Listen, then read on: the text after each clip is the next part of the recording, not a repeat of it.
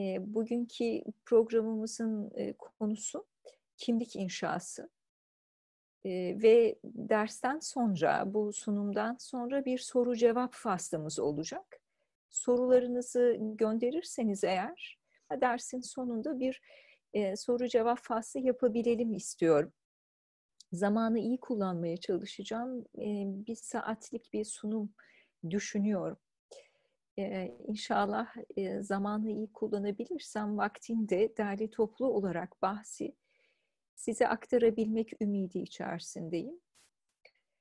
Bugün e, dersimiz kimlik inşası ve çok e, önemli olduğuna inandığım, beni çok heyecanlandıran bir konuyu size anlatmak istiyorum. Ümit ederim o heyecanı, ruhumu saran o heyecanı sizin de kalplerinize boşaltabilirim. Ee, Cenab-ı Hak muvaffakiyetler ihsan eylesin, dilimdeki bağı çözsün, kelimelerimin kesafetini nuraniyete inkılap ettirsin inşallah değerli dostlarım. Size dostlarım diye hitap ediyorum, öyle kabul edip bu sunumu yapıyorum. Ee, bir şey bildiğimden değil, anlatma çabası, paylaşma çabası içerisinde bu derse iştirak ediyorum. Evet, e, bir ayeti kerime ile başlamak istiyorum bu sunuma, kimlik inşası sunumuna. Hepinizin çokça bildiği, çokça tekrar ettiği bir ayeti kerime bu. Cenab-ı Hak buyuruyor ki biz emaneti semaya arza ve cibale, dağlara teklif ettik. Onların yüklenmekten korktukları ve çekindikleri emaneti insan yüklendi dedikten sonra ayeti kerimede Cenab-ı Hak innehu kâne zalumen cehula diye bitiyor ayet-i kerime. Şüphesiz o zalim ve cahildir. Buradaki özne insan, emaneti yükse, yüklenen insan. Emanet kavramıyla başladım çünkü kendi kimlik inşamız bu kavram üzerine kurulu. Emanet kavramı üzerine kurulu. Biz emaneti semaya, arza, ve dağlara teklif ettik. Onların yüklenmekten korktukları ve çekindikleri emaneti insan yüklendi. Şüphesiz o zalim ve cahildir. Şimdi temel sorumuz yani bu yolculuğa e, girizgah teşkil edecek olan soru insan cahil ve zalim olduğu için mi emaneti yüklenmiştir? Yoksa emaneti yüklendiği için mi cahil ve zalimdir? Bu soruyu lütfen zihninizde tutun ve zihninizde e, karşılıklı bu dersi yapıyor olsaydık cevaplarınızı almak isterdim.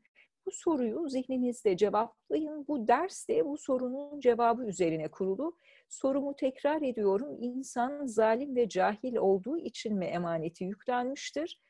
Yoksa emaneti yüklendiği için mi zalim ve cahildir sorusu. Şimdi e, bu soru emanet kavramı üzerine bir cevap bulacak ve emanet asırlar boyunca yani nedir o insanın yüklenmekten korktuğu ve çekindiği emanet sorusuna asırlar boyunca cevaplar bulunmuş, cevaplar verilmiş değerli dostlarım. Mesela o emanet akıldır demiş e, İslam felsefecileri. O emanet aşktır demiş tasavvuf erbabı. O emanete farklı anlamlar da yüklenmiş iradedir denilmiş, namazdır denilmiş ve bunların üzerinden çeşitli okumalar, çeşitli tefsirler yapılmış. Burada İslam irfanının bir güzelliğini de vurgulamak istiyorum. Ee, binler vücuhu vardır diyor Bediüzzaman Hazretleri e, bu emanet kavramının. Yani binlerce yüzü, binlerce anlam katmanı vardır.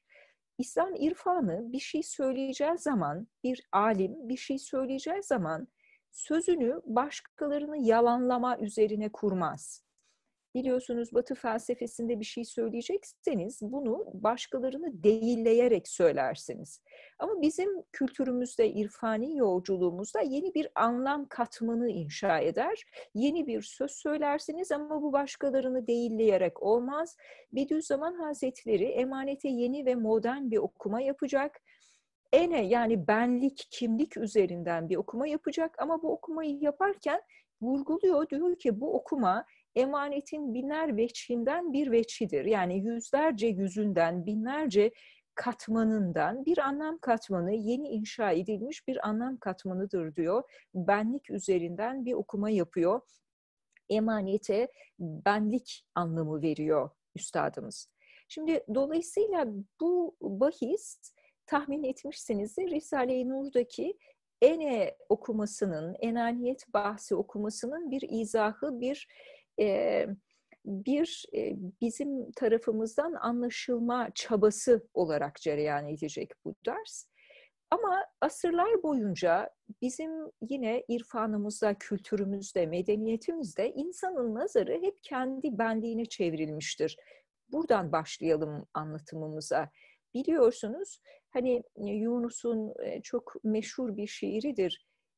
İlim kendin bilmektir yaklaşımı. İlim ilim bilmektir, ilim kendin bilmektir. Sen kendini bilmezsin ya nice okumaktır diye sorar. Hacı Bayram Veli Hazretlerini tanırsınız. Bize ulaşan çok az şiirinden bir tanesidir. Sen seni bil, sen seni şiiri.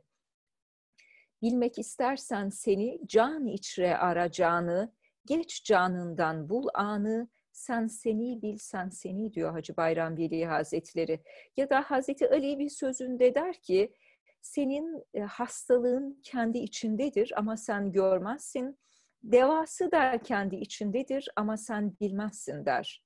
Kendini bilen Rabbini bilir bizim biliyorsunuz marifet yolculuğumuzun esasını teşkil eden bir yörüngedir. Kendini bilen Rabbini bilir.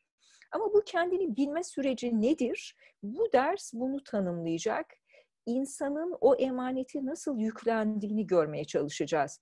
Bu arada şunu da belirtmekte fayda var. Emanetin zıttı olan kavram, bir kavramı anlayabilmek için onu zıttıyla tanımlamaya ihtiyaç duyuyoruz. Onun zıttı olan kavram da mülk kavramı. Yani ya biz yeryüzünde bir şeyi temellük ediyor, mülk ediniyor, sahipleniyor, benim diyoruz, ben diyoruz ya da onu bir emanet olarak kabul edip mülkün sahibini tanıyoruz, benliğin sahibini tanıyoruz ve ona emanet muamelesi yapıyoruz. Burada şunu da belirtmekte fayda var. Eğer mülkü sahibine verir ve onu emanet olarak üstümüze alırsak unutmayalım ki emanetin bir sorumluluğu var. Yani bize ait değilse mülk sahibinin koyduğu şartlarla o emanete riayet ediyoruz. Eğer dişler benim olsaydı onları fırçalamayıp çürütmek gibi bir seçeneğim olurdu. Bunun için de kimseye hesap vermezdim.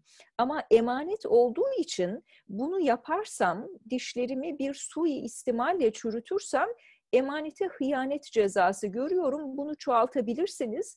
Fıkhın biliyorsunuz fıkıh usulü çok önemlidir. Fıkıh, fıkhın temel felsefesi de emanet üzerine kuruludur. Yani biz o emanete ne yaparsak riayet ederiz, ne yaparsak ihanet ederiz üzerine kuruludur aslında bizim fıkıh anlayışımız. Yani mülk sahibini kabul ederiz önce, sonra da o mülk sahibi o o emanette nasıl tasarruf etmemizi istiyorsa emanette öyle tasarrufta bulunuruz. Bunun zıttı bir özgürlük alanıymış gibi görünür biliyorsunuz mülke e, sahip olma düşüncesi, malikiyet düşüncesi, malikül mülkü kendimiz olarak görmek ki aslında ben bunu tanımlar. Benim demek, ben demek bunu tanımlar ki çok tehlikeli bir yolculuktur ben ve benim ifadeleri. Eğer mülkü sahiplenirseniz ben der ve tasarrufu da üstünüze alırsanız bu size bir özgürlük alanı tanıyormuş gibi olur ama unutmayalım ki mülkün sahibi biz değiliz, bir gasp hareketidir. Yani bu bir hırsızlama, bir gasp, gasp etme eylemidir.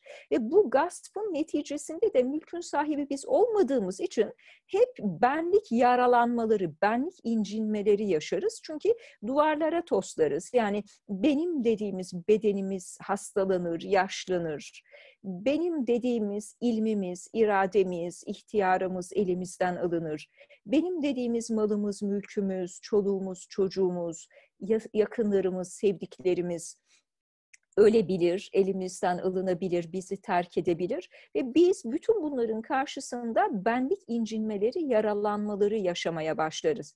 Dolayısıyla hani size ait olmayan bir şeyi gasp ederek onda özgürlük iddia etmek insan için kaçınılmaz olarak başını duvarlara çarpmak anlamına gelir.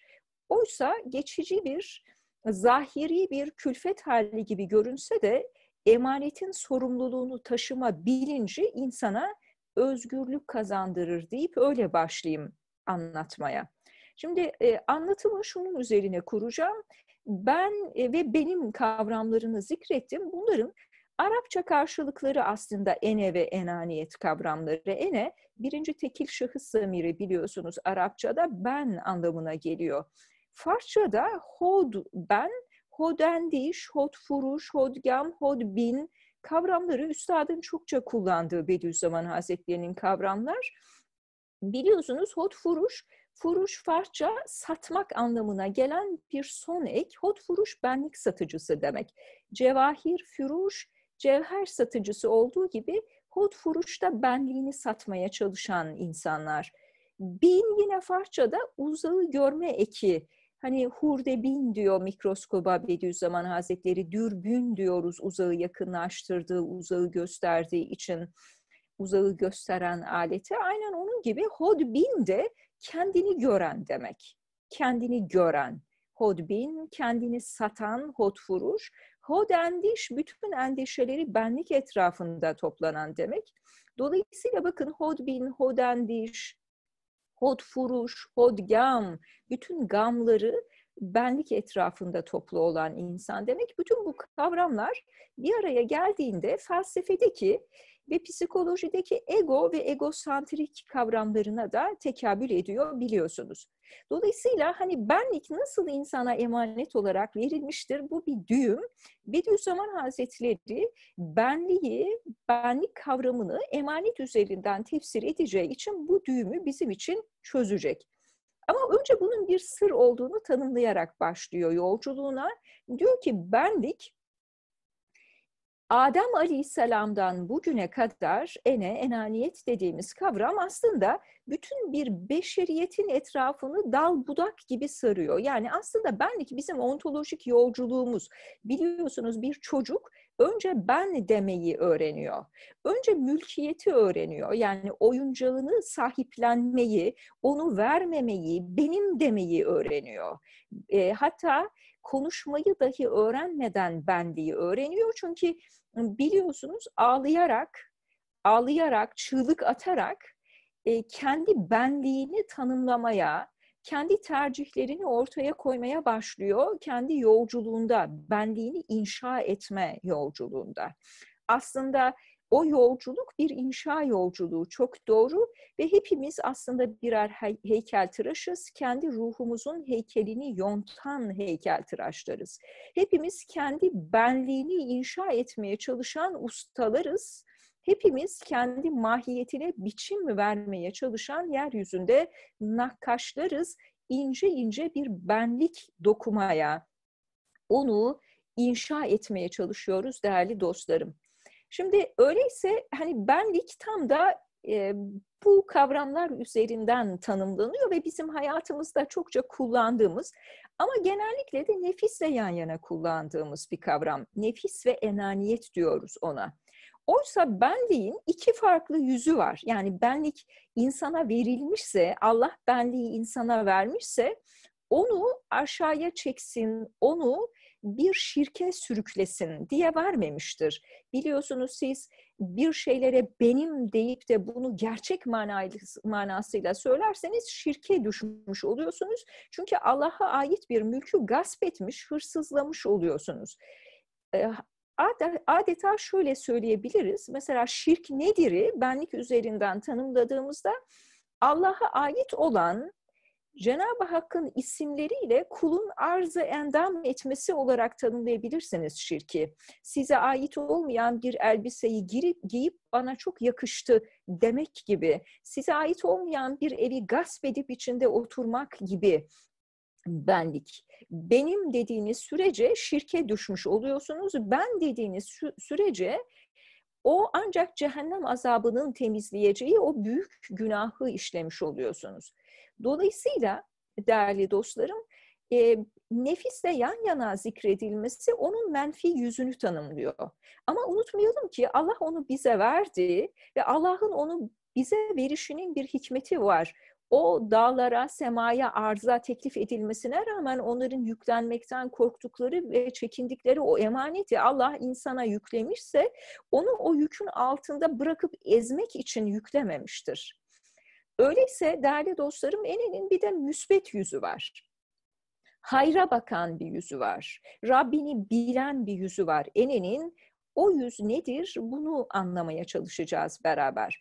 O yüzden ene bizim ontolojik yolculuğumuz yani Hz. Adem Aleyhisselam'dan beri bütün bir beşeriyetin etrafına dal budak salıyor ve meyveler veriyor. İnsaniyet meyveleri tam da böyle meyveler. Hani firavunlardan bahsediyoruz, Nemrutlardan, Şeddatlardan, zamanın e, firavunlarından bahsediyoruz. Efendim bir takım e, akli meyveler veren, e, kuvve-i şeheviye dalında, kuvve-i gadabiye dalında meyveler veren insaniyet meyvelerinden bahsediyoruz. Putlardan, putperestlerden bahsediyoruz. Aklı tanrısallaştıranlardan, onu her şeyin önüne koyanlardan bahsediyoruz.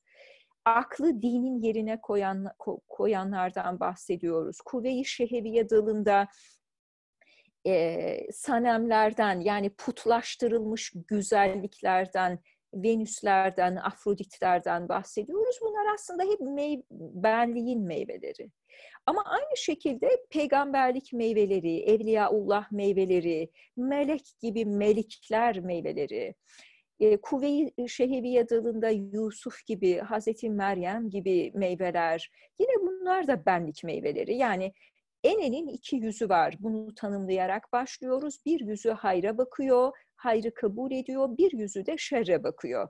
Ve dolayısıyla şunu söyleyebiliyoruz. Ene aslında bir çekirdek hükmünde o e, Tuğba çekirdeğinin de çekirdeği, Tuğba ağacının da çekirdeği özür diliyorum, e, zakkum ağacının da çekirdeği.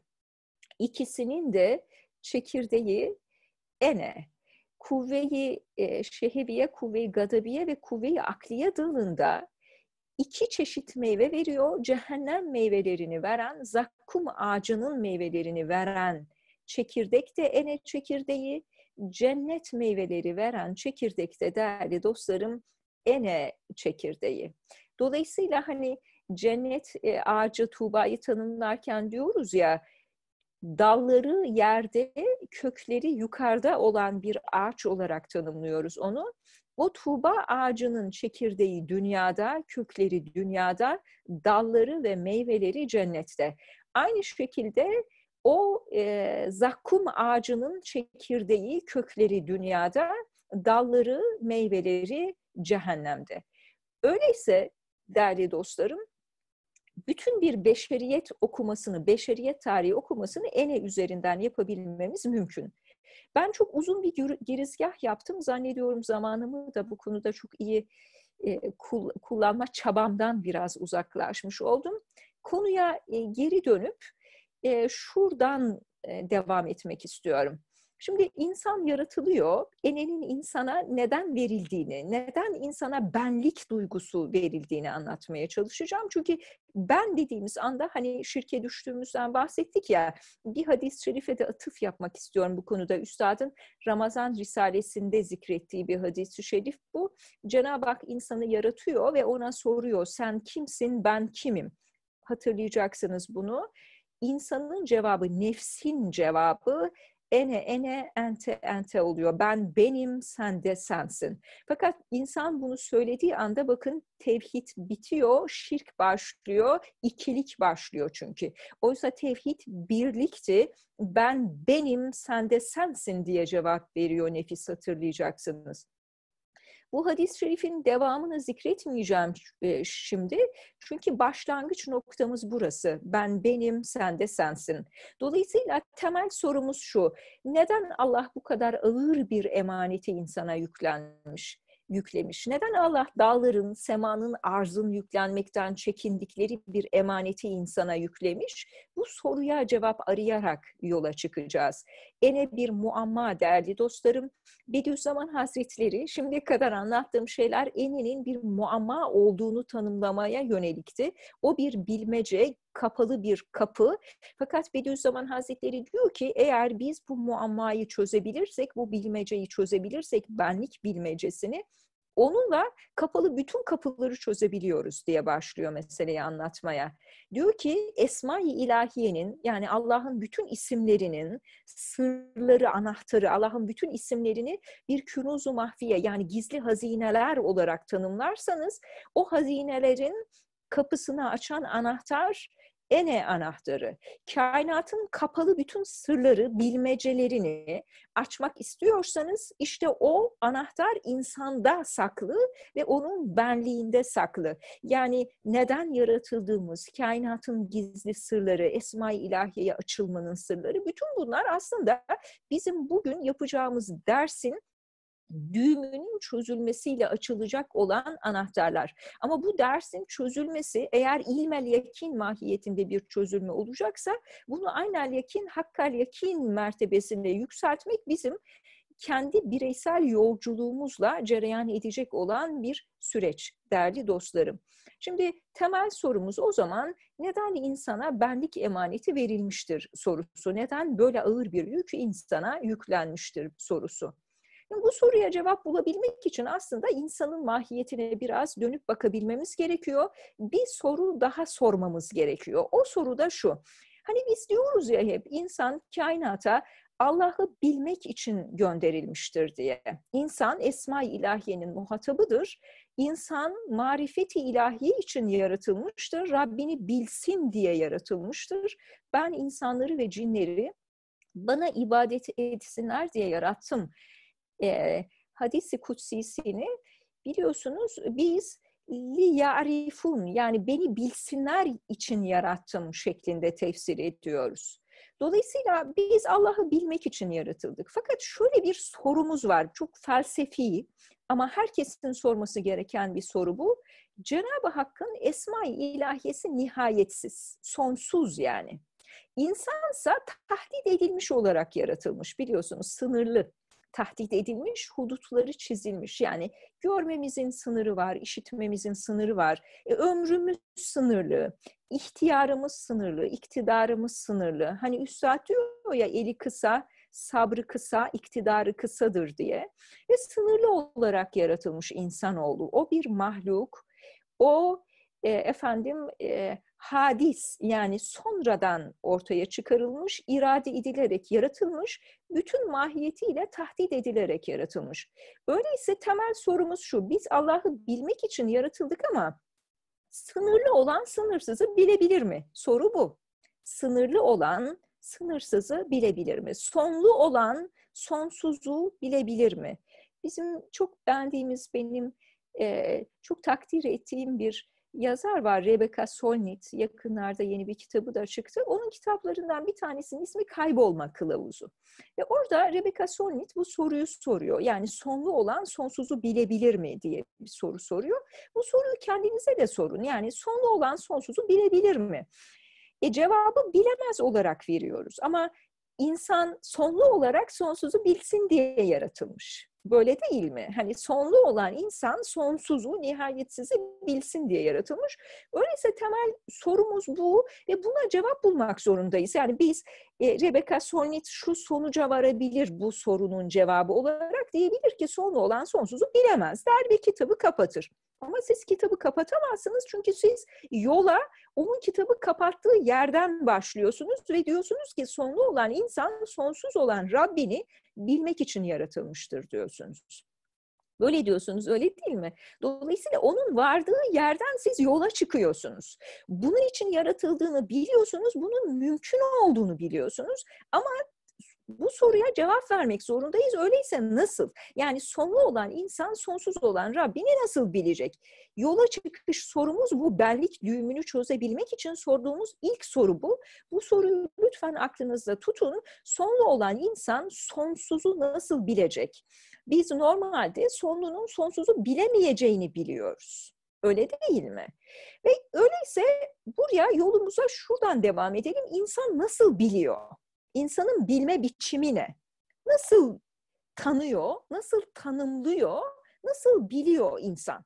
Bu, bu soruyla yolumuza devam edelim. Hep sorular sorarak yolumuza devam etmek zorundayız. Çünkü bu bizim bizim için bir düğüm çözülmesi gereken bir düğüm ve biz sorularımızı sorarak ancak bu düğümü çözebiliyoruz. Sorumuz şu o zaman. İnsan nasıl biliyor? İnsan nasıl biliyor sorusuna verdiğimiz cevap insan bir şeyi sınırlandırarak biliyor oluyor. Biz bir şeyi ancak sınırlandırarak biliyoruz. Nasıl biliyoruz? Mesela gündüz, gündüz geceyle sınırlanıyor. Buna tahdit dedik ya hani hudutlama. Geceyi bir sınır olarak düşünün geliyor gündüze müdahale ediyor. Ve biz o zaman tanımlayabiliyoruz. Yani eğer gece olmasaydı değerli dostlarım biz gündüzü tanımlayamazdık. Gündüzü ışığıyla dolduran şeye biz gündüz diyemezdik o zaman gece olmasaydı.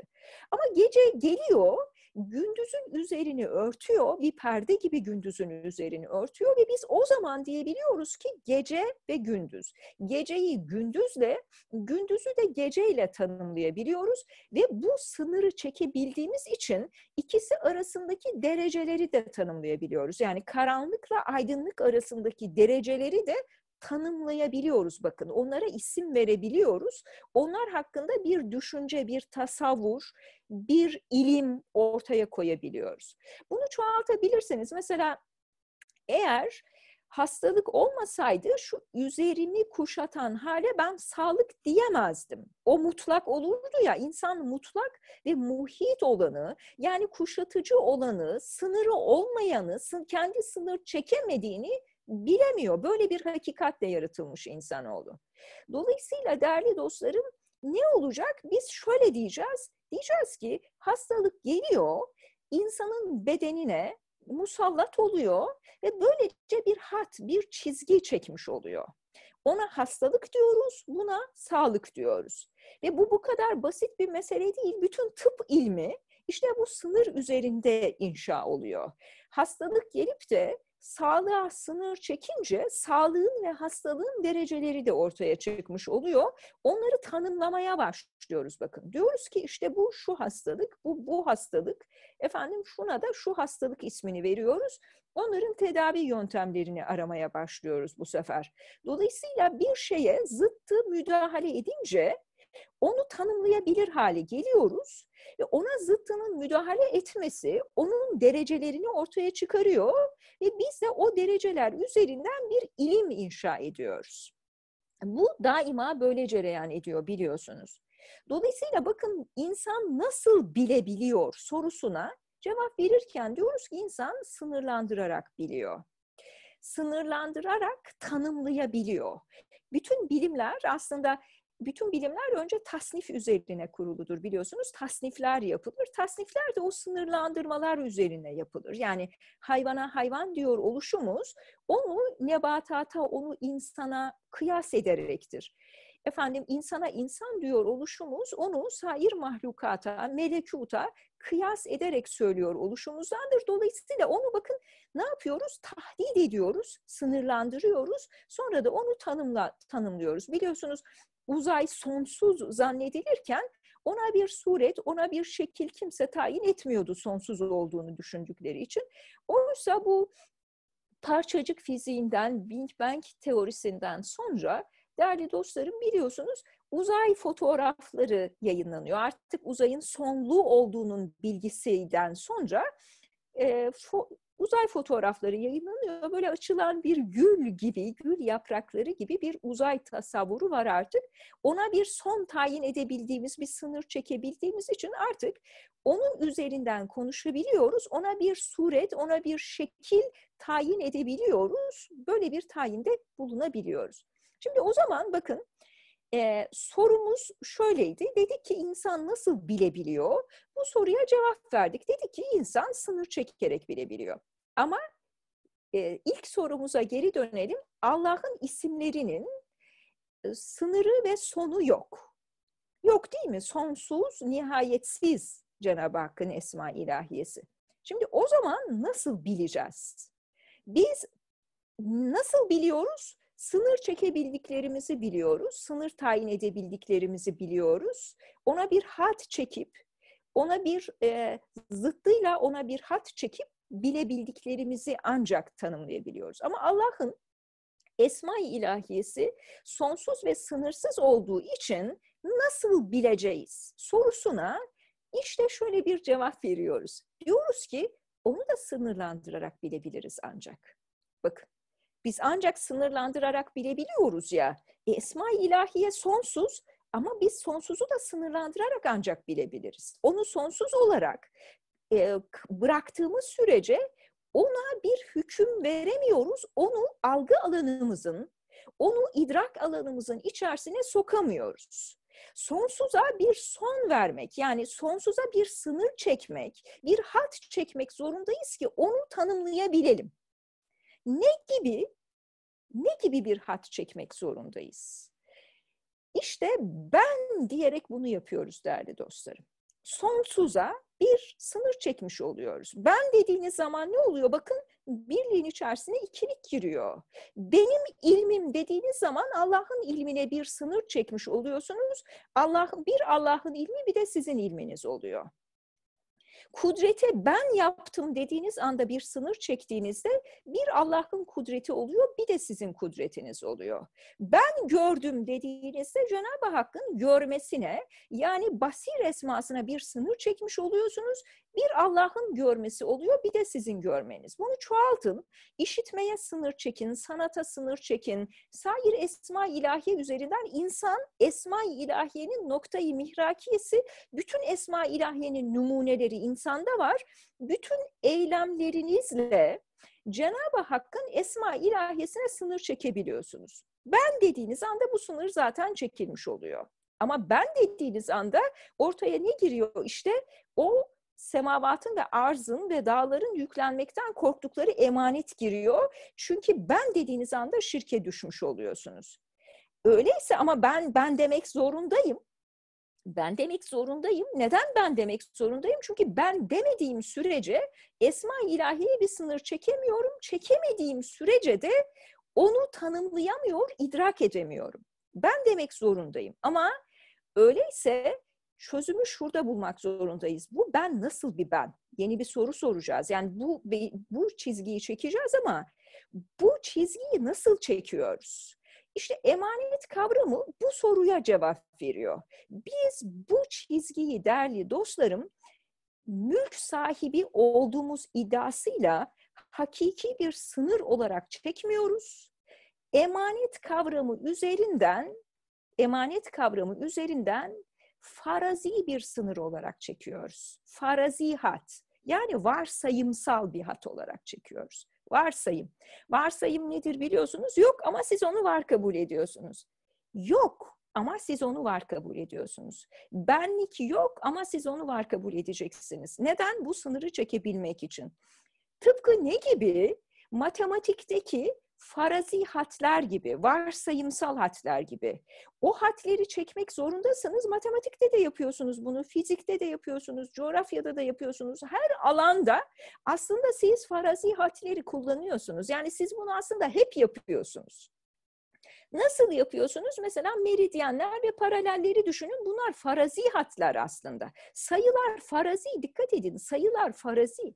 Matematikte bir üçgenin eksik bir açısını bulmaya çalışıyorsunuz. Ne yapıyorsunuz? Hemen yukarıdan aşağıya kesik kesik bakın bir çizgi iniyorsunuz. Dik açı 90 derece olduğu için iç, üçgenin iç açılarının toplamından yola çıkarak eksik açıyı o yukarıdan çektiğiniz kesik kesik çizgilerle bulabiliyorsunuz ancak. Ama o çizgiyi niye kesik kesik çektiniz? Çünkü farazi. Yok orada öyle bir çizgi. Siz onu varsaydınız neden varsaydınız değerli dostlarım ölçüm yapmak için? Neden varsaydınız? Anlamak için. Neden varsaydınız? Tanımak için. İşte siz meridyen diye bir çizgiyi varsaydınız, o çizgiyi dünyanın yüzüne çizmeniz gerekmiyor. Ekvator diye bir çizgiyi varsaydınız, o çizgiyi dünyanın üzerine çizmeniz gerekmiyor tebeşirle. Sadece onu varsaymanız yetiyor bakın o ölçümü yapabilmek için. Siz okyanusta kayboldunuz diyelim, hemen koordinatlarınızı bildiriyorsunuz. Diyorsunuz ki şu meridyende, şu paraleldeyim.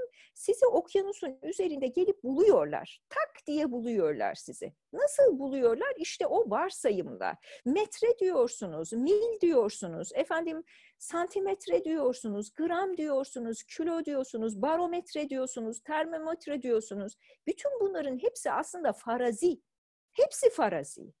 O farazi ölçüm aletlerine, ölçüm kriterlerine işte literatürde vahidi kıyasi diyoruz. Vahidi kıyasi aslında Osmanlı'da mimarlıkta kullanılan bir kavram birim anlamına geliyor. Birim vahidi kıyasi. Ve biz de aslında bu vahidi kıyasi kavramını e, itikatta kullanıyoruz, üstadımız kullanıyor. Nedir o? Neye vahidi kıyas ediyoruz? Bütün ölçüm aletlerine. Kıyas, kıyas birliği demek vahidi kıyası biliyorsunuz. Neden o birliğe ihtiyacımız var? Ben metreyi alsam desem ki işte bu benim vahidi kıyasım ama bunu hiç kimse kabul etmese o kimse için vahidi kıyası olmuyor. Hepimiz onu metre olarak kabul ettiğimizde ortak bir vahidi kıyası bulmuş oluyoruz. Ben metre dediğimde herkes aynı şeyi anlıyor. Herkes aynı şeyi anlıyor metre dediğimde. Gram dediğimde aynı şeyi anlıyorsunuz. Efendim mil dediğimde, kilometre dediğimde aynı şeyi, santigrat dediğimde aynı şeyi anlıyoruz. Çünkü vahidi kıyasi var. Yani ortak olarak bir faraziyi kabul ediyoruz. Sayılar da böyle ortak olarak yani hepimiz bunun ifade ettiği manayı ortak olarak kabul ettik. Biliyorsunuz başka ölçü birimleri kullanıldı tarih boyunca. Şimdi onları söyleseler size, mesela zira desem size, bir zira desem, bir batman desem zannediyorum bunun neye tekabül ettiğini tahayyül edemezsiniz. Amerika'ya ilk geldiğimizde de hani kilometreden e, mile geçişte böyle, böyle bir zihinsel kargaşa yaşıyor insan. Sair birimlerde de öyle çünkü vahidi kıyasiye ihtiyacımız var. Yani aynı ortak e, faraziyeye ihtiyacımız var. Şimdi benlik işte bu faraziye değerli dostlarım. Yani biz aslında yoka var rengi veriyoruz. Yoka var diyoruz. İlim var mı? Biz ona var diyoruz. Yani ilmim diyoruz. Ve onu kazanmak için, onu elde etmek için bir gayret sarf ediyoruz. İlmim diyoruz. Efendim bakışım diyoruz, duyuşum diyoruz, duyduklarım diyoruz, evim diyoruz, çocuğum diyoruz. Bakın hep yoka varlık rengi veriyoruz. Yoka neden varlık rengi veriyoruz? Çünkü ölçmeye ihtiyacımız var. Çünkü anlamak için buna mecburuz. Yani Allah bize benliği onun altında kalıp ezilelim diye vermedi, onunla ölçüm yapalım diye verdi. Yani baştaki en baştaki soruma geri dönüyorum. Allah bana niteliğini bilmediğim bir emaneti omuzlarıma yükleyip de beni ezmek için o emaneti bana yükle, yüklemedi. Tam tersine ben yaratılış itibariyle zalim ve cahil olduğum için o zalimlikten ve cahillikten kurtulayım diye bana o emaneti yükledi.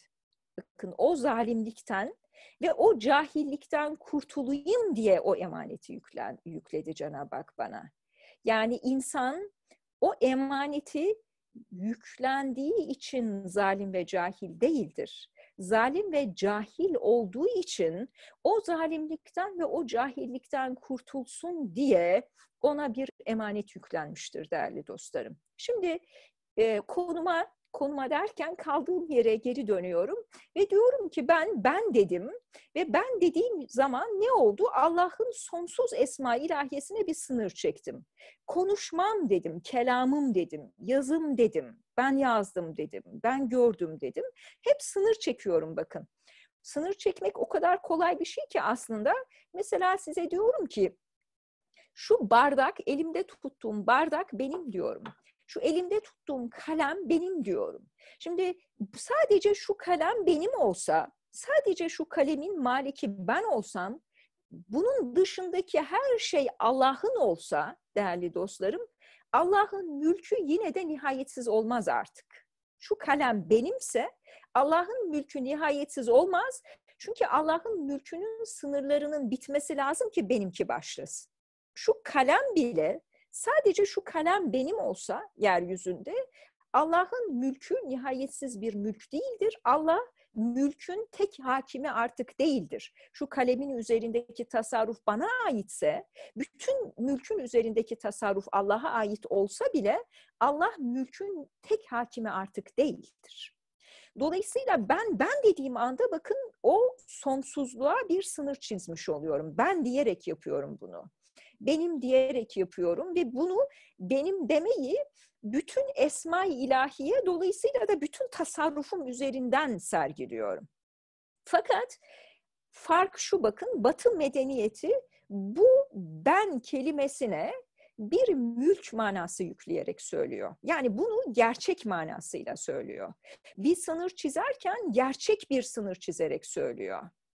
Oysa ben bunu söylerken bir farazi manayla söylüyorum. Yani yoka bir varlık rengi vererek yani kesik, kesik kesik çizgilerle söylüyorum. Keskin bir çizgiyle söylemiyorum. Kesik kesik çizgilerle.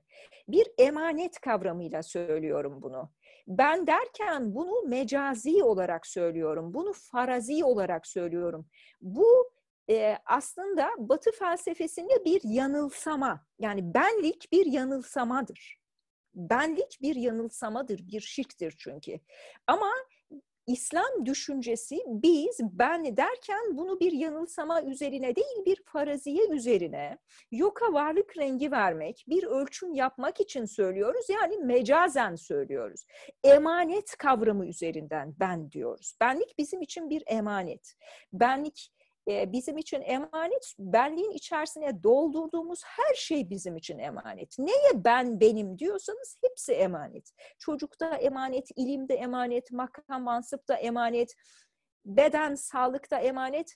Ne varsa ben ve benim kavramı içerisine doldurduğunuz hepsi emanet ve onlara emaneten benim diyorsunuz. Emanet çünkü elinizden alınıyor, hiçbiri sizde kalmıyor hani Yunus'un şiiri var ya mescidi geziyor, Sinni'ye vardım diyor. Sinnik mezarlık. E hani bunlar baylar idi, kapıcılar korlar idi diyor Yunus Emre. Bunlar bir zamanlar beylerdi, kapılarında da kapıcılar vardı. Ama yerleri ve yurtları sinlik olmuş, mezarlık olmuş artık. Dolayısıyla hani emanet çünkü benim olsaydı bırakıp gitmeyecektim. Şimdi bu çizgiyi çektim bu çizgiyi benim diyerek çektim ve emanet kavramıyla çektim. Ne yapacağım? Yani çizgiyi çektim. Çizgiyi ne için çekiyorduk? Anlamak için, tanımlamak için, idrak edebilmek için çekiyorduk. Ve şöyle yapıyoruz bu tanımlamayı. Diyoruz ki buraya kadar benim, buradan sonra Rabbimin diyoruz. Bu sınırı çekerek söylüyoruz bunu. Yani benim bir duymam var, Rabbimin de bir duyması var. Ve bunu kıyas ediyoruz. Bakın bu kıyası yapmak zorundayız. Anlamak için bu kıyası yapmak zorundayız. Benim bir duymam var, Allah'ın da bir duyması var. Benim kendi önce kendi duymamı kavramaya çalışıyorum. Yani ben demeye bu yüzden ihtiyacım var. Sınır çektim ya. Nedir bu duymak? Benim duymam nedir? Benim mülk sahibi olmam nedir? Bunu tecrübe etmeye çalışıyorum. Nedir mülk sahibi olmak? Biliyorsunuz bize mesela göz vermemiş olsaydı Cenab-ı Hak biz de mesela e, diyelim ki kelebekler gibi e, ayaklarımızla algılasaydık varlığın niteliğini ya da antenlerimizle algılasaydık varlığın niteliklerini birbirimizi. Ama göz olmasaydı, bize denilseydi ki Allah basirdir. Biz Allah basirdir ama basir ne demek, basiret ne demek bilmediğimiz için Allah basir olarak tanımamıza hiç imkan olmayacaktı. Bakın bende bir görme var, Allah'ın bir görmesi var. Bende bir işitme var, Allah'ın bir işitmesi var. Benim kudretim var, Allah'ın kudreti var. Benim hayatım var, benim hayatım var. Benim efendim e, sağlığım var, benim şuyum var, benim buyum var. Var olduğum ne varsa bunları kıyas unsuru haline getiriyorum. İşte o sanat mı, o ilim mi, efendim o irade mi? Neyse o. onu bir kıyas unsuru haline gelip getirip Allah'ın isimlerini tanıyorum önce diyorum. Ben biliyorum artık görmek ne demek. Ben biliyorum işitmek ne demek. Birisi bana Allah'ın görmesinden bahsederken ben neden bahsettiğini anlıyorum. Çünkü bende bir numunesi var. İnsan Cenab-ı Hakk'ın bütün isimlerinin numunelerini taşıyor üzerinde. Bütün isimlere onu açacak pencereler taşıyor üzerinde. İlk kıyasımı böyle yapıyorum. Benim bir görmem var, Allah'ın da bir görmesi var ve bu kıyası hep cüz ve kül üzerinden yapıyorum. Sınır koydum ya, bendeki cüz Allah'taki kül. Bendeki parça Allah'taki bütün böyle bir başlangıç noktası ama bu bir faraziye, bu bir anlama çabası sadece. Ve şöyle diyorum mesela, bu kıyası hep yapıyorum. Diyorum ki mesela evimde küçücük bir akvaryum var. Diyorum ki üstad yapar ya bunu, hani üç gün temizlemesem içini kokuşuyor, e, efendim kokusundan durulmaz hale geliyor. E, yeryüzünde okyanuslar var, içinde yaşayan binlerce nebatat ve hayvanat var, kokmuyorlar. Bakın ne yaptım? Kendimdeki akvaryumu okyanusa kıyas ettim. Aynen böyle de akvaryumu okyanusa kıyas eder gibi yapıyoruz bu kıyası. Bir hatırlatma yapmak istiyorum. Hazreti Musa Aleyhisselam da Hazreti Hızır Aleyhisselam'ın meşhur bir yolculuğu vardır biliyorsunuz.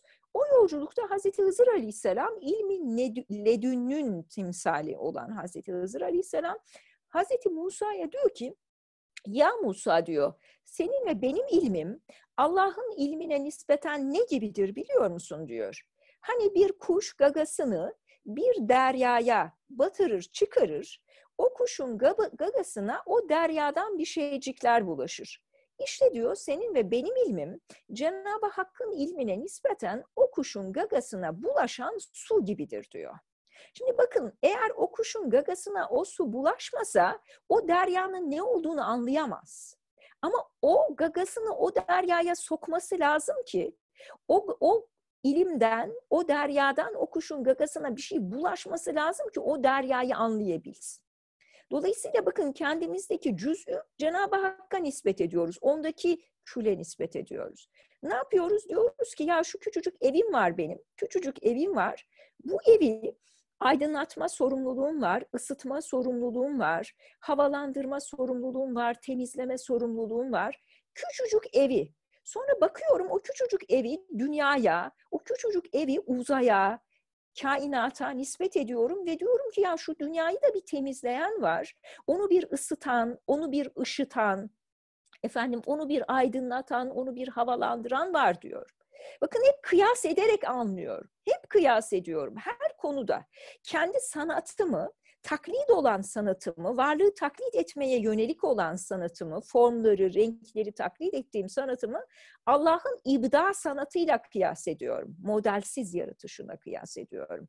Eğer biraz seslerden anlıyorsam kulağımı veriyorum, kainattaki sesleri dinliyorum ve kendi sem'imi Allah'ın semine kıyas ederek diyorum ki ben şöyle duyuyorum, şu kadar duyuyorum, var seslerin milyonda dördünü duyabiliyorum. Ancak maddi sesleri duyabiliyorum ve birini bir duymaya çalışırken ötekisini duyamıyorum. Ben böyleyim ama Cenab-ı Hakk'ın işitmesi şöyle deyip buna kıyas ederek Allah'ın nasıl işittiğini, kalbimizin seslerini nasıl duyduğunu, birimizi duyarken ötekisinin duymasına bunun mani olmadığını bu kıyaslarla çözmeye çalışıyorum bakın. Başlangıç noktam bu. Fakat ne yaptım bakın ben bir farazihat çektim, kendimi anladım. O farazihatle kendimi çözmeye çalıştım. Kendini bilen Rabbini bilir ya. Ne var bende? Onu anladım. Sonra onu kıyas ederek Cenab-ı Hakk'ın sem'i nedir, ilmi nedir, sanatı nedir, kudreti nedir? Bu kıyasla bilmeye çalıştım. Bu kıyası yapabildim Sonra ne yapıyorum? E zaten bu emanetti. Zaten ben buna hiçbir mertebede o, o çizgileri kesik kesik çizgileri koyarken de gerçek manasıyla koymamıştım. Farazi bir hat olarak, varsayımsal olarak onları koymuştum. E yaptım ölçümümü de. Yukarıdan aşağıya üçgenin içerisinde o kesik kesik çizgileri indirdim açıyı buldum, eksik açıyı buldum. E o kesik çizgiye artık ihtiyacım yok ki onu sildim ve attım oradan tekrar. İşte bu ölçümleri yap, yapa yapa ne yapıyoruz? O benliği bir taraftan kesik kesik çizgiler indiriyor, o kıyasları yapıyor. Bir taraftan da onu böyle sile sile yolumuza devam ediyoruz. Yani hayatımızın bir yerine kadar o çizgileri çekiyor, bir yerinden sonra siliyor değiliz. O ölçümleri yapıyoruz, siliyoruz, yapıyoruz, siliyoruz. Keşke şu beşeriyetin, bakın beşeriyetin ölçmek için, anlamak için farazi hatleri olan ihtiyacı bütün bilimlere yayılmış biliyorsunuz. Keşke daha çok farazi hatler olsa daha çok anlasak. Aynen onun gibi keşke benliğimizde daha fazla farazi hatler üretebilsek. Farazi diyorum bakın gerçek hatler değil, daha çok ölçüm yapabilsek. Fakat temel sorun, bizim sorunumuz şu, biz bu hatleri gerçekten farazi mi çekiyoruz? Yoksa farkında olmadan farazi olarak çektiğimiz o hatleri temellük mü ediyoruz? Farkında olmadan gerçek hatler mi çiziyoruz? Bu da nasıl ortaya çıkıyor? Allah bizi sınıyor. Yani sen diyorsun ki çocuğum emanet. Sonra Cenab-ı Hak seni o çocukla imtihan ediyor. Bakıyorsun ki o çocuğu sahiplenmişsin sen. Diyorsun ki işte malım, mülküm, param emanet, makamım emanet. Sonra Allah onları senin elinden bir alıyor, soruyor sana kulum nasılsın diye soruyor. Emanetse emaneti sahibine vermek bu insanda bir rahatsızlık duygusu uyarmamalı. Değil mi? Emanet demek ne demek? Vakti geldiğinde bunun sahibine iade edeceksin demek. Allah o mülkü senden alıyor, mülkün sahibi o ve sana soruyor. Hani ilk soru öyle bir ses duyuyorsunuz ya bugün mülk kimindir sorusu. Bugün mülk kimindir diye soruyor sana Cenab-ı Hak. Kimindir mülk? Alıyor onu senden ve soruyor sana. Mülk, emaneti aldım emanet miydi, mülk müydü? Kulum nasılsın diye soruyor. Sağlık sende bir emanet. Cenab-ı Hak onu alıyor senden, kulum nasılsın diye soruyor sana. Ve bunu çoğaltın. Bunu çoğaltın. Hafıza bir emanet, yaşlanıyorsunuz. Hafıza yavaş yavaş silinmeye başlıyor. Allah soruyor kulum nasılsın? İlim senin zannediyordun nasılsın? Kudret senin zannediyordun nasılsın? Dizler tutmaz hale geliyor nasılsın? Gözlerin feri sönüyor nasılsın diye soruyor Cenab-ı Hak. Çünkü hepsi emanet. Öyleyse bakın bizim imtihanımız da bu noktada başlıyor. Tamam teorik olarak biz bunların emanet olduğunu kabul ediyoruz. Teorik olarak ama itikat da gerçekten bunları emanet olarak mı kabul ediyoruz? Hani malı mülkü elinden alınan, gasp edilen e, çok e, varlıklı bir e, abimiz hani ben de bunların hesabını nasıl vereceğimi düşünüyordum. Bunun endişesini yaşıyordum. Cenab-ı Hak aldı diye bir cümle kurabiliyor ve bunu samimane kurabiliyorsa gerçekten emanet bilincini taşıyor demektir. Kayıplarımızın, kayıp değil onlar aslında ruhunun ufkuna yürüyen yakınlarımızın arkasından ya Rabbi emaneti sen verdin, sen aldın diyebiliyorsak ancak biz ona emanet muamelesi veriyoruz o muameleye tabi tutuyoruz. Dolayısıyla bununla yani emanet oluşuyla imtihan oluyoruz biz. Ve biz çok rahat hani bu emanet, bu emanet, bu emanet diyebiliyoruz kendimize. Fakat temel mesele emaneti sahibine iade edebilmek. Yani ondan geleni ona döndürmek. Allah'tan geleni Allah'a döndürmek. Bunu zannetmeyin sadece kayıplarla yapıyoruz. Aslında bunu şükürle şükür, şükür bu bizim için o yüzden yolumuzun dört esasından bir esası şükürle aslında Allah'tan geleni sürekli Allah'a döndürüyoruz. Şükür emanet kavramıyla biçimleniyor biliyorsunuz. Şükür onun emanet olduğunu biliyorsunuz ya. O emanetin idraki içerisinde Allah'a şükrediyorsunuz. Bu gözü size verdi, size görmeyi nasip etti işte bunun şükrünü Allah'a döndürüyorsunuz. Emanet olduğunun bilgisi içerisinde. Dolayısıyla aslında şükür Allah'tan geleni Allah'a döndürmek anlamına geliyor. Şükür emanet kavramını idrak ettiğimiz, onu ilmel yakin, hakkal yakin, aynel yakin boyutlarında kavradığımız anlamına geliyor şükrümüzün mertebesi ama Efendimiz ümmetimden şükredenler ne kadar azdır diye buyuruyor biliyorsunuz. Dolayısıyla biz şükrederek, şükrü mutlak içerisinde Allah'tan geleni Allah'a döndürüyoruz. Ve dolayısıyla bize verdiğini Cenab-ı Hakk'ın onu Allah bizden almadan önce Allah'a vermiş oluyoruz. O bizden almadan mesela diyelim ki Allah size bir ev verdi. Onu böyle hizmet için, insanlığa hizmet için, hayır için, hasenat için, iffet için, uzlet için, halvet için, hayır için kullandığında bir insan Allah o evi onun elinden almadan onu Allah'a zaten döndürmüş oluyor. Allah ona sıhhat veriyor, onunla ibadet ediyorsa Allah onu o sıhhati onun elinden almadan o sıhhati zaten Allah'a döndürmüş oluyor. Dolayısıyla emanet kavramını şükür kavramıyla iç içe değerlendirmenizi öneriyorum size. Ve biz bu ölçümü yapınca değerli dostlarım o kesik kesik harfler var ya siliyoruz o kesik kesik harfleri Allah'ım hepsi senin diyoruz. Göz senin ben görmekten göz görmekten bahsediyorum ama göz de senin, görmek de senin, gördürdüğün şey de senin. O şeyi görebilmen için yarattığın ışık da senin. O nur da senin. Nur olmadan gözün varlığı işe yaramıyor biliyorsunuz nurla görüyorsunuz. O da senin. Sesler de senin, işitmekler de senin, kudret de senin, ilim de senin diyorsunuz ve hepsini hepsini Rabbinize e, veriyorsunuz, geri döndürüyorsunuz. Şimdi ben değerli dostlarım bir saat içerisinde tamamlamayı düşünüyordum ama planlıyordum ama zikrettiğim gibi biraz e, kendi zafiyetimi biliyorum bu konudaki zafiyetimi. Allah beni affetsin. Siz de hakkınızı helal edin biraz daha zamana ihtiyacım var. Çünkü size anlatmak istediğim bir başlık daha var. Şimdi öyleyse başa dönüyorum ve diyorum ki değerli dostlarım, insana verilmiş olan emanet enedir dedik. Ve enenin insanın nasıl bir Allah'ı bilme yöntemi olduğunu anlatmaya çalıştım şimdiye kadar. Kendi kelimelerimin kesafetiyle anlatmaya çalıştım. Hakkınızı helal edin. O, o kesafete bürünmüş olabilir mesele.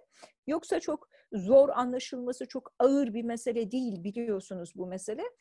Ee, üstadımın nurani kelimeleriyle okumanızı öneririm. Nurani kelimeleriyle okumanızı öneririm. Benim kelimelerimin kesafeti sadece bir işaretçi olsun sizin için. O bahse bir gönderme olsun inşallah. Şimdi çok önemli bir noktaya geldim. Çok heyecanlı bir noktaya geldim aslında belki bu dersi anlatarak varmak istediğim noktaya geldim. Onu atlamak istemiyorum. O noktada şu değerli dostlarım. Muhammed İkbal'i tanıyorsunuz hepiniz. Pakistanlı bir alim Muhammed İkbal. Muhammed İkbal'in de benliğe ilişkin iki tane eseri var. Birine e, Esrar-ı Hodi yani benliğin sırları ismini vermiş. Birine de Rumuzu Bi Hodi ismini vermiş. Yani benlikten vazgeçmenin sırları. Bakın Esrar-ı Hodi, Rumuzu Bi Hodi. Bu iki kitap değerli dostlarım, iki küçük risale Esrar ve Rumuz başlığı altında çevrildi. Ben Timaş yayınlarında yayın yönetmeniyken değerli dostlarım Ali Nihat Tarla'nın çevirisiyle bu metni yayınlamıştık. Hala baskısı vardır zannediyorum. Esrar ve Rumuz kitabın adı benlik benlik kazanmanın yolları esrar e, bölümü, rumuz bölümü de benlikten vazgeçmenin yolları. Dolayısıyla benliğin bakın iki yönü var. Birisi benlik kazanmak. Yani vahidi kıyası yapabilmeniz için ne oluyor? Bir benliğe ihtiyacınız var. İlim vahidi kıyasisi yapabilmek için neye ihtiyacınız var? İlme. Yani eğer ilmi olmasaydı e, Hızır Aleyhisselam Musa Aleyhisselam'a bu kıyası yapamazdı. Önce ilim tahsil edeceksiniz. Sonra sonra derken bu sonralık hep dediğim gibi bir hayır daire suretinde cereyan edecek. İlim tahsil edeceksiniz ve bu, bu vahidi kıyası hep ilimle yapacaksınız. Sanatınız olacak ve bu vahidi kıyası sanatla yapacaksınız. Zengin olacaksınız mesela bu vahidi kıyasiyi servetinizle yapacaksınız. Güzel olacak, güzelliğinizle, ahlaki güzellik kazanacak o cemalle yapacaksınız. Herkese bunu çoğaltabilirsiniz. Yani Muhammed İkbal diyor ki değerli dostlarım bu iki kitabında Esrar-ı Hodi ve Rumuzu Bi Hodi'de benlikten vazgeçmek için diyor önce benlik kazanmak lazım. Benlikten vazgeçmek için önce benlik kazanmak lazım diyor. Ve e, şöyle bir tenkitte de bulunuyor. Diyor ki alemi İslam'ın diyor temel problemi benlik kazanmadan benlikten vazgeçmeleridir diyor. Benlik kazanmamış ama benlikten vazgeçiyor. Ama benlik yok ki ortada neyden vazgeçiyor? Benlik derken neyi kastediyorum? Kibirlenmeyi kastetmiyorum bakın. Benlik kazanmak. Yani ilimle benlik kazanmak, sanatla benlik kazanmak. Sen ne yapacaksın? ilim tahsil edeceksin. Allah'tan en çok korkanlar alimlerdir diyor Cenab-ı Hak Kur'an-ı Kerim'de. Allah'tan en çok alimler korkuyorsa bakın alimler benlik ilimde Cenab-ı Hakk'ın alim esma ilahiyesinde benlik kazanmışlardır. İşte o yüzden o vahidi kıyasi yapabildikleri için benlik, benlikten vazgeçebiliyorlar. Ya da o vahidi kıyasiyi yapabildikleri için Allah'tan en çok onlar korkuyor. Allah'a en çok hayran olanlar, Allah'ın sanatına en çok hayran olanlar kimlerdir? Sanatkarlardır. Sanattan behresi olanlardır. Duyduğu sesi, kuş sesini, kuşların verdiği konseri duymayan, kulağına giren melodileri işitmeyen bir insanın ismi sem'i de kıyas yapmasına ve bunu şükre, bunu benliğe dönüştürmesine imkan yok. Öyle değil mi? Dolayısıyla önce ne yapmak gerekiyor? Benlik kazanmak gerekiyor. İlimde, sanatta, edebiyatta, kültürde, efendim servette neyse hangi alanda benlik kazanacaksak hepimizin istidatları var ve hepimiz bu istidatlarla benlik kazanmamız gerekiyor. İşte hizmet bu, bu benlik kazanma üzerine kurulu. Benlik kazandırma üzerine kurulu. O yüzden eğitim müesseseleri merkezde. O yüzden yaptığımız hiçbir şeyi yeterli bulmayıp helmin mezit demek zorundayız. Daha yok mu? Ve Muhammed İkbal'in tenkidine geri dönelim. Diyor ki alem İslam'ın temel sorunu benlik kazanamama sorunu. Hani siz e, biz Müslümanız diyorsunuz ama ortada ilim yok. İslam dünyasından ortaya çıkan bir ilim yok. E, bugün İslam dünyasının haline bakın. İlim yok, sanat yok, medeniyet yok, kültür yok. Efendim demokrasi yok. Bütün bu, bu kadar yokların üzerinden hangi benlikten bahsediyoruz? Hangi benlikten bahsediyoruz? Bahsedebileceğimiz benlik bir, o e, menfi yüzdeki benlik olabilir ancak. Müsbet yüzde bir benlikten yani feda edebileceğimiz bir benlikten. Ne kadar büyük bir benlik inşa etmişsek ondan vazgeçmek o kadar büyük bir şükre dönüşüyor öyle değil mi? Yani siz ne kadar büyük bir alimseniz bunu Allah'a verdiğinizde o ilmi Allah'a verdiğinizde o kadar büyük bir şükür üretiyorsunuz. Hani Üstad insana şükür fabrikası diyordu ya öyle şükre dönüştürüyorsunuz o benliği. Ama eğer sizde bir ilim yoksa hani hangi benlik yok ki neyden vazgeçiyorsunuz? Sanat yoksa benlik yok ki neyden vazgeçiyorsunuz? Olmayan bir benlikten vazgeçemezsiniz de. Olmayan bir benlikle Allah'ı tanıyamazsınız. İlimsiz alim esmasını, sanatsız sani esma ilahiyesini tanıyamazsınız. Basarsız basir esma ilahiyesini bilemezsiniz. Bas, basarı sadece şu gördüğümüz maddi aleminin milyonda dördüyle tanımlayacaksak eğer aslında görmüyoruz demektir. Gözümüz sadece maddeyi görüyor, manaya açılamamışsak görmüyoruz demektir. Dolayısıyla bu görmeye bu görmeye mertebeler kazandırmak zorundayız ki Allah'ı basir olarak tanıyabilelim. Öyleyse bakın önce ne gerekiyor? Kimlik inşası. Yani bir benlik inşası gerekiyor önce. Önce Allah'ın isimleriyle o isimlerin bizdeki tecelli dalga boylarıyla o isimlere olan istidatlarımızla bir ruh heykeli inşa etmek gerekiyor. Bir benlik inşası gerekiyor ilimle, sanatla. Hani e, Mehmet Altan derdi e, ekonomist Allah ondan e, Allah ona hidayet versin, selamet versin. Derdi ki Mehmet Altan e, bütün İslam dünyasının temel üretimi, toplam üretimi Almanya'nın üretiminin yarısı kadar derdi. Şimdi bu e, maalesef hani tablolarda görünen, realitelerde okunabilen bir şey. Ve bakıyorsunuz siz bu, bu tablolara baktığınızda ortada bir benlik görmüyorsunuz. İnşa edilmiş bir benlik görmüyorsunuz. Hani ferdi benlikler kadar toplumsal benlikler de görmüyorsunuz inşa edilmiş olan. Dolayısıyla önce benlik kazanmak gerekiyor. Bizim temel sorunlarımızdan bir tanesi bu. İkincisi de kazanılmış benlikten vazgeçmek. Şimdi kazanılmış benlikten vazgeçmek meselesi de ne gerektiriyor? Yine bir marifet gerektiriyor. Allah'ı bilmeyi gerektiriyor. Alem İslam'ın böyle temel bir sorunu da var. Kim bir benlik kazansa onunla kibre düşüyor ve o benliği terk etmiyor. Birisi bir hani makamı, bir mansıbı, bir iktidarı, bir gücü, bir serveti eline geçirse ona öyle bir yapışıyor ki onu bırakmıyor. O kadar benlikle yapışıyor ki ona kendisi ölecek olsa oğluna çocuğuna kalsın istiyor. Kendisi gidecek olsa onu kendi etrafındaki yandaşlara dağıtmak istiyor. Dolayısıyla bakın kazanılmamış bir benlikle, kazanılmamış bir benlikle bir şey elde ettiği zaman insan onu terk edememek gibi bir komplikasyon da ortaya çıkıyor. Dolayısıyla iki çeşit benlik yarası, iki çeşit benlik komplikasyonları ortaya çıkıyor. Bir benlik kazanma komplikasyonları, ikincisi de kazanılmış benlikten vazgeçememek komplikasyonları ortaya çıkıyor. Eğer kazanılmış benlikten vazgeçemezseniz bu sizde kibir olarak, gurur olarak ortaya çıkıyor eğer benlik kazanamazsanız bu da size aşağılık kompleksi olarak ortaya çıkıyor. Bakın bunlar çok önemli komplikasyonlar. Diyor ki e, Muhammed İkbal siz diyor yıllarca tekkelerde duvarlara hiç levhaları astınız. Ama bu hiç levhaları şu an diyor kazanılmış bir benlikten vazgeçmenin hiçi değil, hiçbir benlik kazanamamış olmanın hiçi diyor Muhammed İkbal. Bir benlik inşa edememiş olmanın hiçi. Bir ferdi benlik, bir toplumsal benlik kazanamamış olmanın hiçi diyor Muhammed İkbal.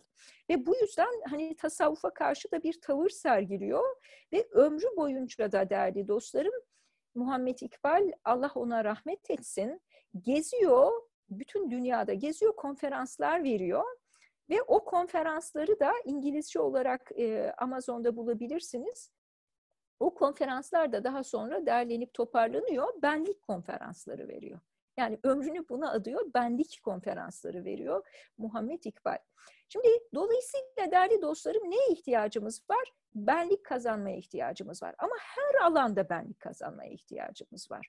Bilimlerin bütün çeşitlerinde benlik kazanmaya, sanatta, edebiyatta benlik kazanmaya, varlıkta benlik kazanmaya, hitabette, söz söylemekte benlik kazanmaya, işte sinemada benlik kazanmaya, bunu çoğaltın, bütün alanlara, bütün mesleki alanlara yayın, bütün varlık alanlarına yayın benlik kazanmaya. Ama bu benlikle gurur ve kibre sebebiyet vermeden doğrudan tevazuyla bunları Rabbe vermeye, şükre dönüştürmeye ihtiyacımız var. Bu iki denge çok önemli bir denge. Size şunu söyleyebilirim. Tevazu ile aşağılık kompleksi arasındaki fark benlik farkıdır. Aşağılık kompleksindeki bir insan benlik inşa edememiştir. Tevazu ehli benlik inşa etmiş ama ondan vazgeçmiştir. Cömert ile müsrif arasındaki fark benlik kazanma farkıdır. Cömert benlik kazanmış ve öyle vermiştir müsrif benlik kazanamadığı için verişleri bir benlikten vazgeçme hali değildir. Bunu çoğaltabilirsiniz. Sair kavramlar üzerinden çoğaltabilirsiniz. Dolayısıyla değerli dostlarım bakın biz sınanıyoruz. Bugün sınanıyoruz. Neyle sınanıyoruz? Bir emanetle sınanıyoruz. Allah'ın mıydı, sizin miydi? Allah her şeyi alıyor profesörlük sıfatlarını da alıyor, makam mansıpları da alıyor, dilimizi bile alıyor e, İngilizce bilmeyenler için dilimizi bile alıyor Cenab-ı Hak bir çocukluğa geri döndürüyor. E, diplomanızı alıyor, dilinizi alıyor, malınızı alıyor, mülkünüzü alıyor ve size soruyor kulum nasılsın? Eğer emanetse mevzu bahis olan kavram emanet kavramıysa şükür halimdeyim ya Rabbi diye cevap vermeniz gerekiyor ve o benliği yeniden inşa etmeniz gerekiyor. Belki o verişleri benliğin en ince nakışlarına dönüştürmeniz gerekiyor. Hepimiz kendi benliğimizin heykeltıraşlarıyız. Şimdi bu noktada bitireceğim dersi. Fakat bir iki küçük şey ilave ederek bitirmek istiyorum değerli dostlarım. Onlardan bir tanesi şu, e, size bir soru sormak istiyorum ama cevabını alamayacağım sizden. Ben bu dersi anlattığımda ders anlaşıldı mı diye sormaya çalışıyorum anlamaya çalışıyorum. Ve şu soruyu soruyorum. Diyorum ki bu kendi uydurduğum bir soru ama ciddiye almanızı öneriyorum. Soru şu. Diyorum ki hani maddenin katı sıvı gaz halleri var. Benliğin katı sıvı gaz halleri nedir diye soruyorum dinleyicilere. Benliğin katı sıvı gaz halleri nedir diye soruyorum. Siz zannediyorum bunu oradan cevaplıyorsunuzdur ama cevabı ben vermek durumundayım şimdi. Ee, oradan cevaplandırabilirsiniz isterseniz. Cevabımızı şöyle veriyoruz. Üstad diyor ki Bediüzzaman Hazretleri bir buz parçası hükmünde olan enaniyetini nahnu havzında eritiyor. Bu cümle bizim için çok önemlidir biliyorsunuz. zamanı enaniyet asrı olarak tanımlıyor Bediüzzaman Hazretleri ve bize diyor ki senin enaniyetin, benliğin bir buz parçası gibi yani temellük halinde. Mülk edinmişsin o benliği. Onu nahnu havzında erit diyor. Nahnu ne demek? Biz demek. Yani cemaat demek. Biz. Bakın o zaman sıvı hal biz hali. Nahnu. Ene katı hal. Ene varlığın, benliğin katı bir buz parçası hükmünde olan hali onu nerede e, eritiyoruz biz? Biz de eritiyoruz. Nahnü'de. Cemaat olarak, biz olarak, bir şahsı manevinin azası olarak eritiyoruz. Onu nahnü havzında eritiliyor. Çoğul şahıs biliyorsunuz. Biz, nahnü. Sonra onu biz havzında erittikten sonra ne yapıyoruz? Yolculuk orada bitiyor mu? Bitmez. Ve üstelik de biliyorsunuz cemaat enaniyeti diye bir kavram da var. Yani havuzlar da donuyor. Ne oluyor? Bakın ben dediğiniz o bir buz parçası. Onu eritmeye çalışıyorsunuz havuzda. Ama havuz da donabiliyor. Dolayısıyla cemaat enaniyetine de düşebiliyor insan. Cemaat enaniyetine düşmemek için ne yapması gerekiyor? Bir buz parçası olan enaniyetini Nahnu havzunda eritecek. Sonra da o hüve yolculuğuna çıkacak. Hüve de biliyorsunuz o anlamına geliyor. Hu, Allah, o. Ve bizim yolumuza değerli dostlarım Bediüzzaman Hazretleri Reşha mesleği diyor. Reşha mesleği tam da bunu tanımlıyor. Reşha ne? Reşha bir su damlası, sızıntı. Ama o kadar berrak bir su damlası ki içinde hiç katışık, hiç karışık yok. Dolayısıyla güneşi gördüğü zaman doğrudan güneşe buharlaşıyor ve güneşe yolculuğa çıkıyor. Ve Üstad 24. sözün ikinci dalı çok önemlidir bizim için. Bizim yolumuzu reşha mesleği olarak tanımlıyor. Bir su damlası, katışıksız bir sızıntı, güneşi gördüğü zaman varlığını bırakıyor, buharlaşıyor ve güneşe doğru yolculuğa çıkıyor. İşte benliğin üç hali değerli dostlarım. Ene, nahnu, hüve. Benliğin üç hali. Ben, biz, o. Yolculuk böyle. Yani benden oya geçemiyoruz. Bizim asrımız enaniyet asrı, emri bil maruf nehyanil münkerin farzı aynı oluşunun sorumluluğu bunu e, bunun yolunu kesiyor. Benden bizde eriyebiliyoruz ancak. Sonra da oradan o biz olma havzından ne varsa o bize Cenab-ı Hakk'ın tekabül ettirdiği, o bize lütfettiği ne varsa hepsini Allah'a vermek suretiyle. Ne hizmetleri ettirdiyse Cenab-ı Hak, ne hizmetleri ettirdiyse demeyeceğiz. Ne diyeceğiz? Allah ne semereler yarattıysa hepsi ondan. Ondan dediğimiz zaman işte o noktada Üstad ne diyor? Vücudunda adam, ademinde vücut vardır diyor benliğin. Benliğin varlığında yokluk, yokluğunda varlık vardır. Yok yok olsa var olur diyor üstadımız. Allah ondan razı olsun. Onu gerçekten de yok edebilirsek var edebiliyoruz benliği değerli dostlarım. E, bunu da söyledikten sonra küçük bir şey daha söyleyeceğim demiştim. Onu da söyleyeyim. Bugün e, Türkiye'nin temel sorunu da benlik sorunu, kendi ülkemizin temel sorunu. İnsanlar farkındasınız benlik kazanmadan e, ortaya çıkıyorlar. Bir benlik yok ortada. Mesela İmam Hatip neslini düşünün beni çok hüzünlendirir. Okuduğu bir metni anlama potansiyeli göstermeyen o çocuklar, istidatlarını kuvveden fiile çıkaramadıkları için, okuduğu metni anlayamayan bir üniversite sınavında e, sadece aynı şıkkı işaretlese varılabilecek sonuçların bile altına düşen bir nesil kendini dünyanın e, fatihi olarak görüyor. Öyle bir nesil kendini e, dünyanın onlarda, onlardan ürktüğünden, korktuğundan, herkesin o ülkeyi kıskandığından bahsediyor. Bu neden kaynaklanıyor? Bizi hem güldürecek hem de ağlattıracak bir tablo bu. Bu neden kaynaklanıyor değerli dostlarım? Vahidi kıyasi olmazsa hani siz okyanustasınız ama ölçüm aletiniz yok. Dolayısıyla koordinatınızı veremiyorsunuz. Bu çocukların koordinatı yok. Neden koordinatları yok? İlim yok. Neden koordinatları yok? Sanat yok, irfan yok, derinlik yok. Koordinat olmayınca hamaset kalıyor geride. Hamaset tam bu değerli dostlarım. Hamaset, hamaset benliğin olmadığı yerde, benlik inşasının olmadığı yerde hayali benlikler inşa etmek demek hamaset. Allah bu halden bizi muhafaza buyursun, bir benlik inşa edebilmeye bizi muvaffak kılsın değerli dostlarım. Evet, Batı'nın benlik inşa etme biçimiyle bizim irfani olarak benlik inşa etme biçimimiz arasındaki farkı anlatmaya çalıştım. Allah beni affetsin. Değerli dostlarım dersi burada bitirmiş oluyorum. Sorularınıza bakmak için vakit bırakmadım size. E, hakkınızı helal edin. E, taş atmış, baş yarmış olabilirim. E, Rabbimiz affetsin. Kusurumuzu setretsin Cenab-ı Hak. Hepinizi selamlıyorum. E, ümit ederim istifadeye medar bir ders olmuştur. Hepinize teşekkür ediyorum.